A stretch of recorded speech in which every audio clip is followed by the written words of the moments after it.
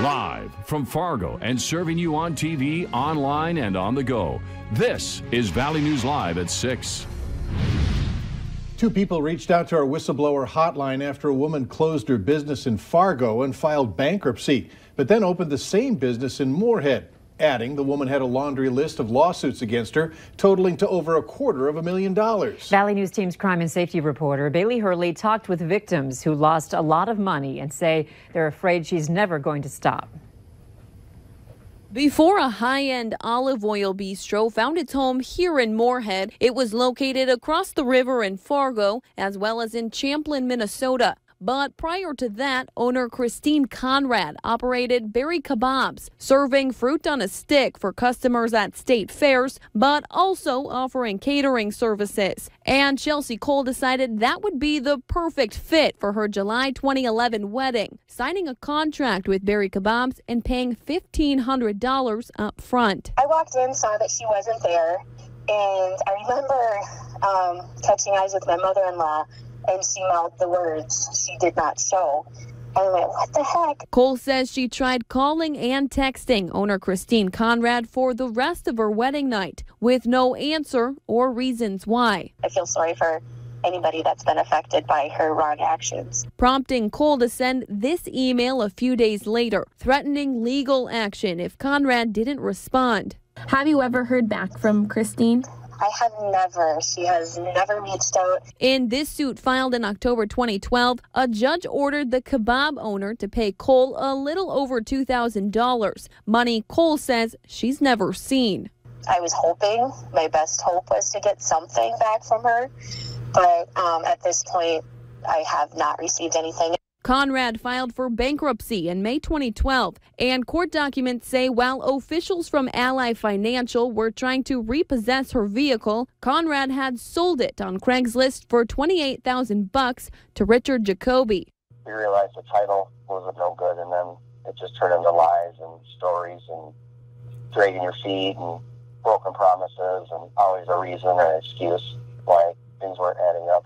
Jacoby's new ride was soon taken back, and a lawsuit from both Jacoby as well as Ally Financial followed. And I gave her a chance. I said, hey, you know, you got a month to figure it out, blah, blah, blah. And then 30, 60, 90, 120 days came, never seen a dollar. A judge ordered Conrad to pay almost $90,000 between the two parties, but that's cash Jacoby says he doesn't think he'll ever see.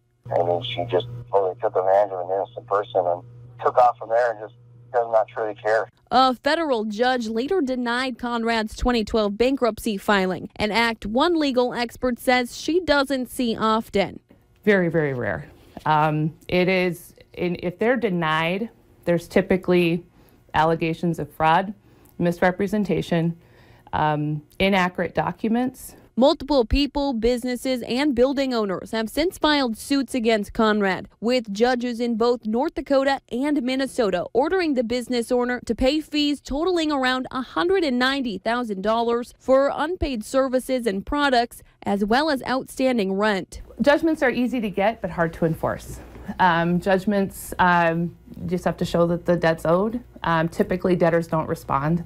Before officially closing her Champlin Bistro, Conrad opened Reese and Riley's in Fargo in September 2017. And Conrad applied for a wine and beer license for that new bistro three times with three different people's names. If you have a felony, you're, you're not allowed to have a liquor license. Do I have a motion to uh, deny the application? Well, we saw this last month um, and denied the, the uh, motion to issue the license uh, to the applicant. Well, the received a, a second applicant from a partner.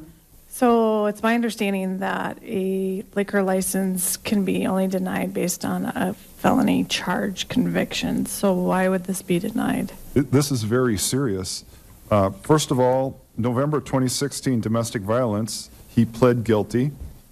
2017 simple, simple assault, uh, received 30 days in jail and all suspended and a $400 fine. That's very serious.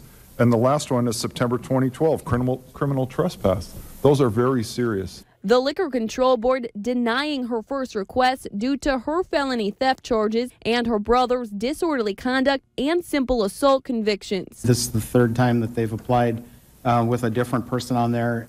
I guess I, I'm not, I'm not seeing why we would approve this when the other two people are still on the application that we said no to. Conrad's business was finally approved in October 2017, but then this suit was filed that December, demanding Conrad pay almost $50,000 in unpaid rent and be evicted just six months after opening.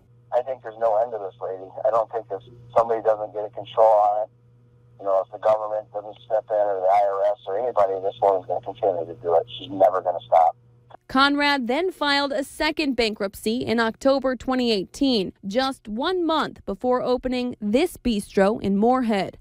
I would not consider this a normal case at all. But that bankruptcy is still pending as the Department of Justice has now stepped in, calling for more time to investigate, quote, serious allegations. Court documents indicate that the DOJ received information that Conrad has, quote, substantial assets which were not listed, and that Conrad did not disclose transfers of assets. And these extensions are pretty common. However, one like this is pretty serious. If she's bringing in corporate assets from another entity or her own assets that should have been disclosed in the bankruptcy and they were being transferred into this new entity, that's a problem.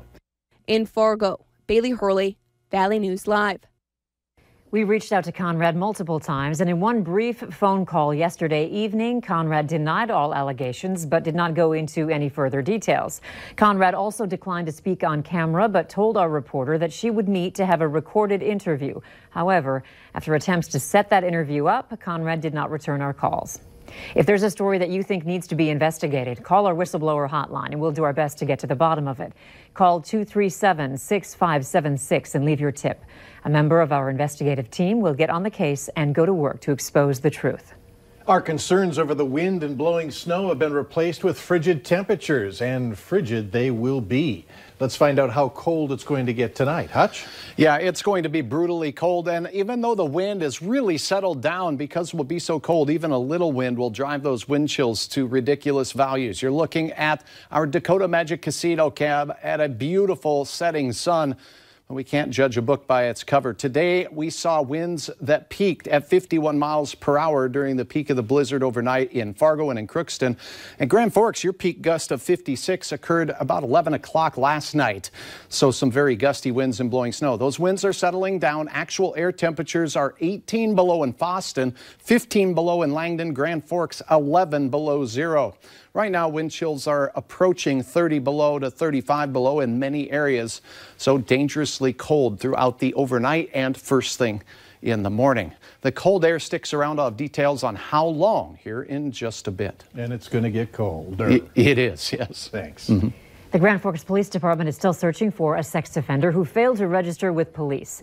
32 year old Jordan Eno is wanted by the department. Authorities believe he is either in Grand Forks or Fargo.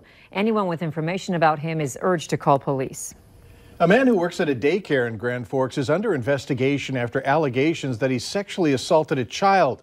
Last week, parents got a letter saying an employee at Little Miracles Daycare is under assessment surrounding the accusations. Another employee says this man has been in contact with children and wasn't put on leave until Tuesday. It's not being taken seriously by the daycare, so then, you know, who knows if if something did happen, then our kids are continued to be placed at risk while this all plays out, and I don't, I don't think that's okay. Grand Forks County Social Services says it's up to the employer if the person should be put on leave before the assessment is over. The owner of Little Miracles said their number one, employ, uh, one, number one priority is the safety and the well-being of every child. A bill that would prevent people convicted of animal cruelty from buying or adopting another animal is getting a do not pass recommendation to North Dakota's House floor. The bill's sponsor, Grand Forks Representative Mary Adams, says the intent was to mainly add a roadblock to prevent animals like cats and dogs from getting into the hands of abusers. However, opponents say the bill's language is too broad and there's no definition as to which animals it would cover, adding that it could impact animal agriculture. Those against the bill say if those specifics are added, they would be willing to look at it again. A plan to fight tobacco addiction for Minnesotans, especially youth, has surfaced among a bipartisan group of lawmakers. According to Minnesotans for a Smoke Free Generation, three bills are being presented to help strengthen Minnesota with regard to tobacco use. The bills would respect, uh, respectfully uh, strengthen Minnesota's air law, provide help to Minnesotans to quit smoking, and raise the minimum tobacco age to 21. Tobacco is one of the leading causes of preventable death and disease for Minnesotans, and the organization claims costs $7 billion annually and takes more than 6,300 lives in the state every year.